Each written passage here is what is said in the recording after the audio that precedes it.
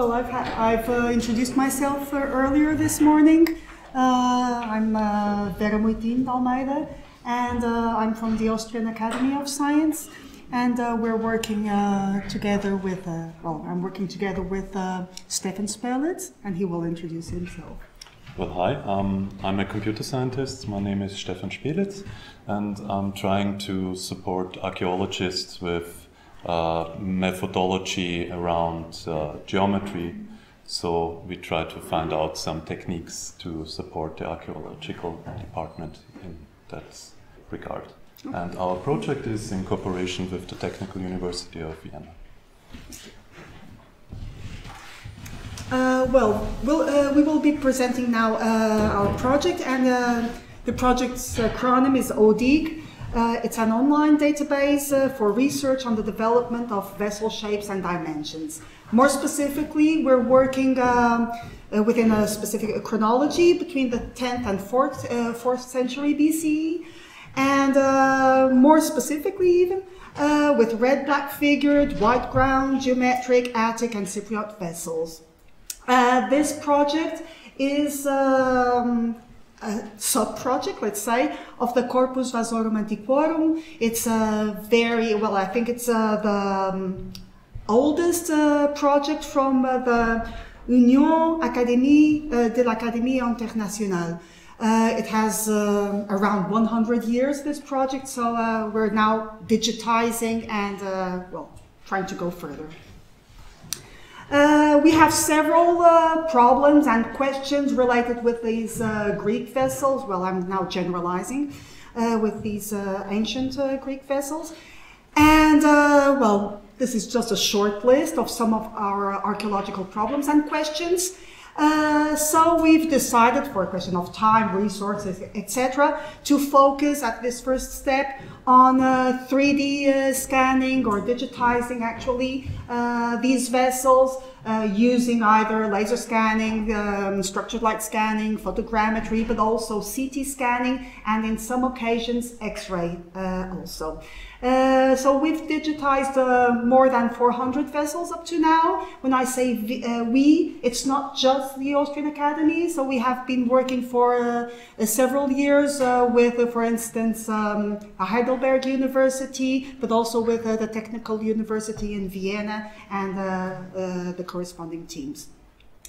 Uh, so, as I said before, we're focusing on shapes and filling volumes uh, now at this uh, present moment, and uh, we're trying to uh, develop some uh, semi or um, hopefully auto automatic measurements of vessels, visualization of profiles and sections, and some reconstruction issues.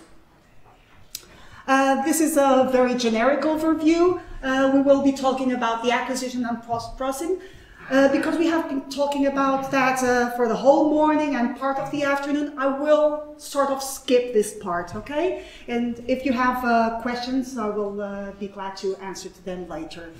And because uh, this project is also focused on this online database, I will um, well, talk a little bit about that. And then Stefan will talk later about uh, metrology, uh, geometry and reconstruction, and also how to uh, create automatic profile and cross sections.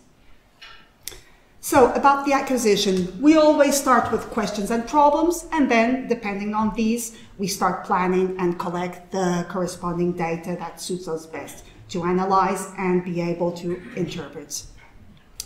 Um, so the generic pipeline, we, uh, according to our problems and questions, uh, and the type of data that we need to collect, we uh, choose the 3D data system, uh, and there are several issues related to workspace, data acquisition, post-processing, and finally, uh, acquiring the 3D model. Of course, there are issues related to errors and uncertainty that we have already um, listened to this morning. Um, about the digital documentation, so I to uh, told you that um, uh, we have been focused on the 3D data. Nevertheless, there's lots of digital documentation and non also non-digital uh, that we have to um, take into account about the object. So provenance issues um, and uh, well date type chronologies, uh, etc. And we're using controlled vocabularies to describe these same objects. Uh, geonames, uh, chronontology, and ISO standards. Uh, for the digital assets, uh, we're also uh, documenting all the metadata and corresponding paradata. So, well, because of the reproducibility and the repeatability issues, but many more other issues.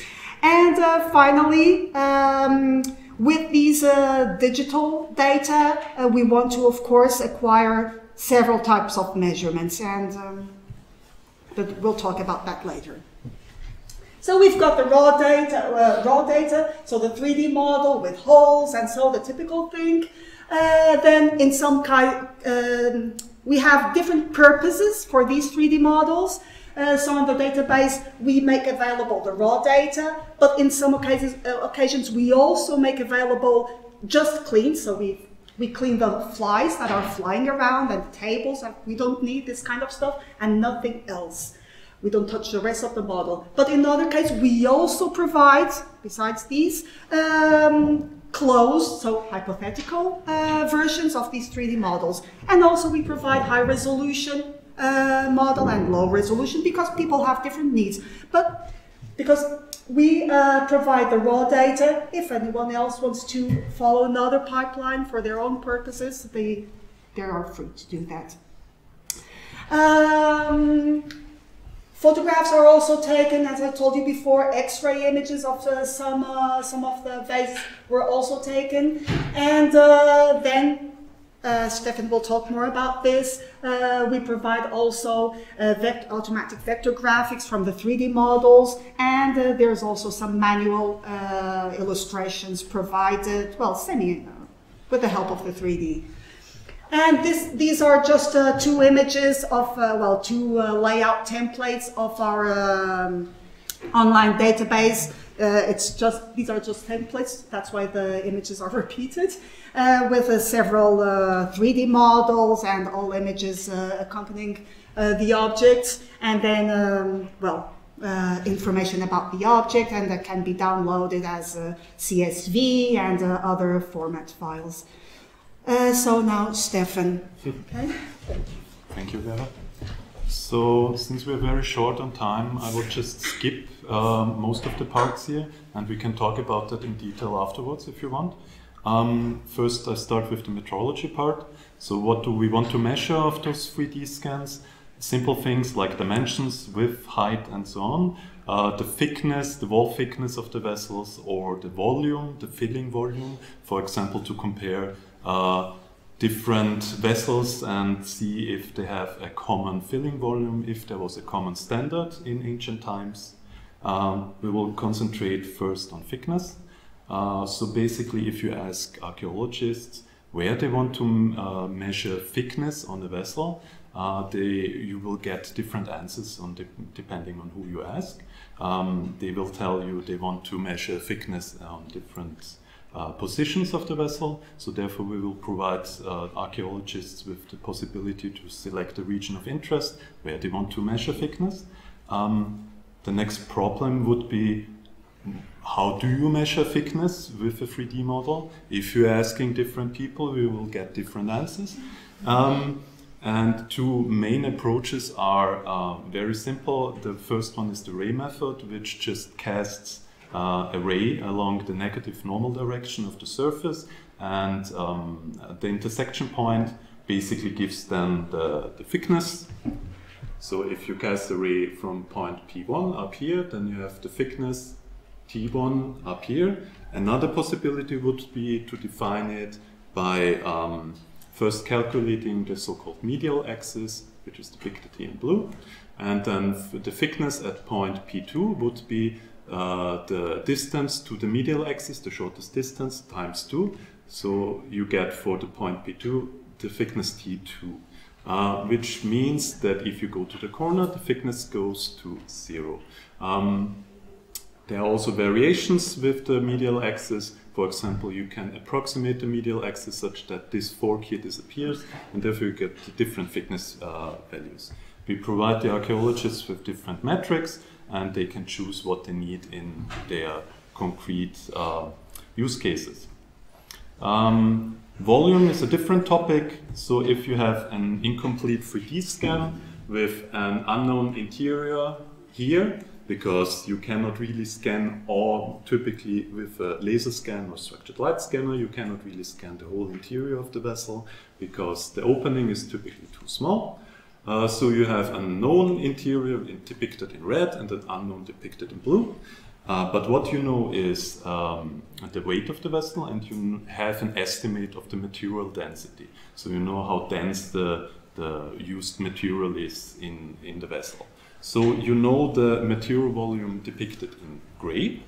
Uh, you want to measure the filling volume up to a specific level. How can you do that? You just split up the, the vessel, close the parts, uh, the upper part and the lower part, calculate the volumes, the upper volume and the lower volume, and basically the filling volume would be then uh, both volumes, the upper and the lower, uh, added together, and the material volume, which you calculated beforehand, you just sub subtract and you get the filling volume. Um, that works well, but not in every case because the, the filling plane up to which you want to measure needs to be, um, so everything above the filling plane of the geometry needs to be known.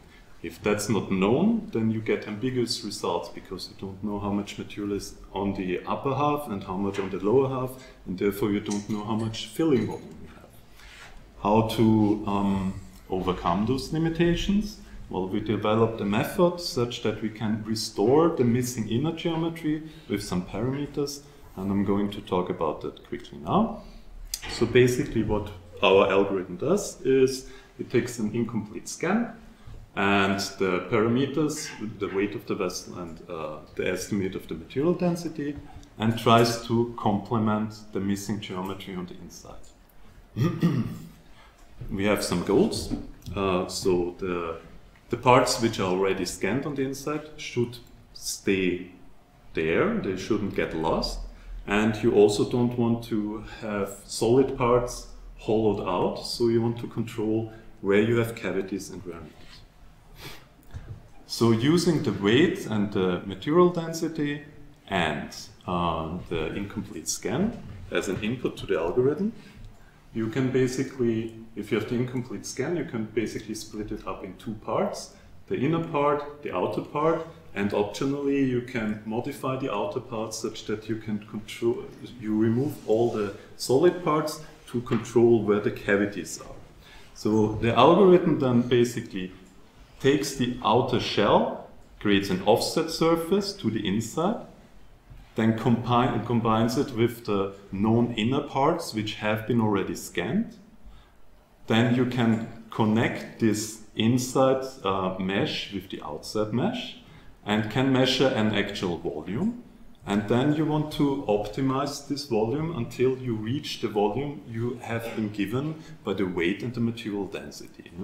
And basically what the algorithm does is it optimizes the inner surface until the desired target volume is reached.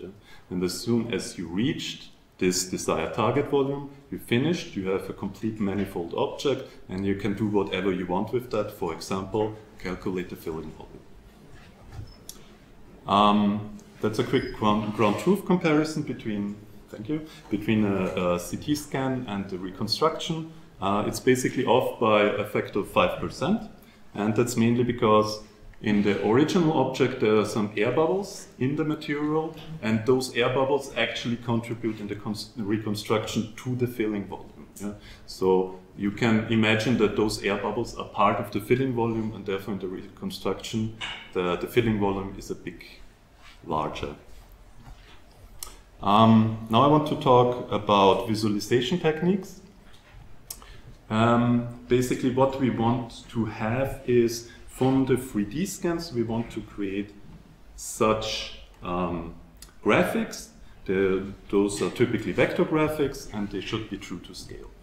Um, how, how can you create such graphics from a 3D model? You have to uh, search for the right viewpoint, how to look at the vessel to create those, those perspectives. And those are typically uh, orthogonally to the rotational axis of the vessel and they're orthogonally to specific features, in that case orthogonally to the, to the handle. So what we do is first we search for symmetric features of the 3D vessel.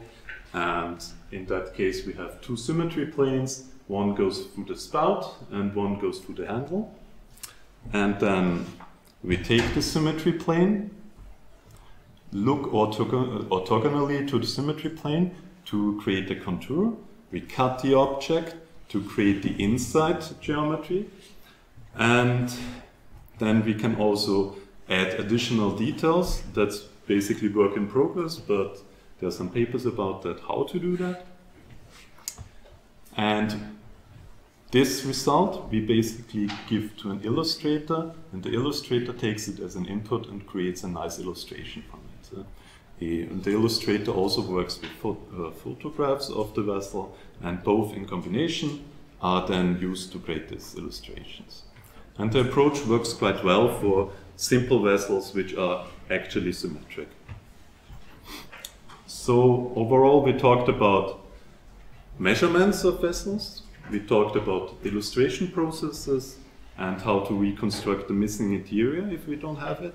And we talked, Vera talked about what we plan to do with our collection of data and how we want to make it accessible to the public in the future. Thank you. Obrigado.